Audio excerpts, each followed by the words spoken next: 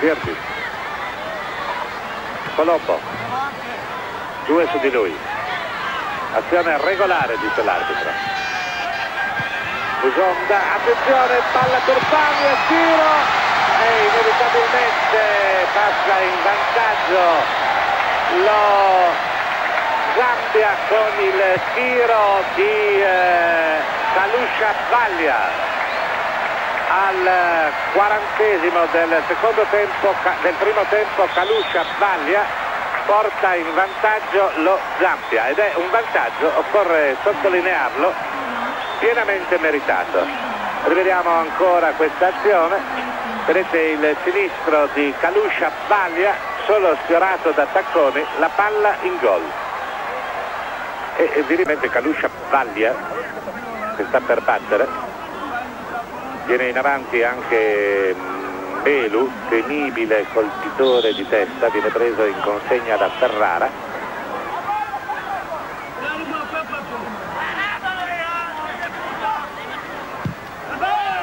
Ah, e viene peppato Sacconi dal tiro che però probabilmente gli azzurri ritenevano fosse di seconda tutti gli azzurri stretti attorno all'arbitro che però non recede dalla sua decisione.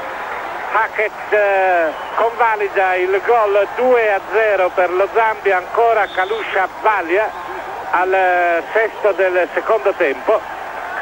Vedete Vaglia che batte a rete astutamente, eh, gli azzurri non intervengono a meno che tutti i tacconi. Bomba. Vaglia. Musonda. Arriva a sostegno l'altro Vaglia e segna! Johnson Vaglia 3 a 0 per lo Zambia. Incredibile Johnson Vaglia tiro probabilmente deviato che scavalca Tacconi fuori dai pali. Rivediamo vedete si tratta di Johnson Vaglia Tacconi viene inesorabilmente scavalcato dal pallone va maturandosi un risultato che farà epoca perché una formazione nazionale italiana giocano con una padronanza incredibile. La Germania ha battuto 4-1 la Tunisia intanto attenzione c'è ancora Vaglia Vaglia e segna, segna il 4 a 0, tripletta personale di Kalusha Vaglia, 4 a 0.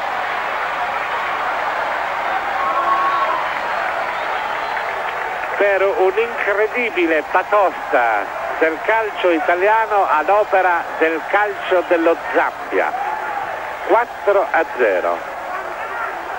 Ha segnato 3 gol Kalusha Vaglia e un altro gol Johnson Vaglia probabilmente con la complicità di una involontaria deviazione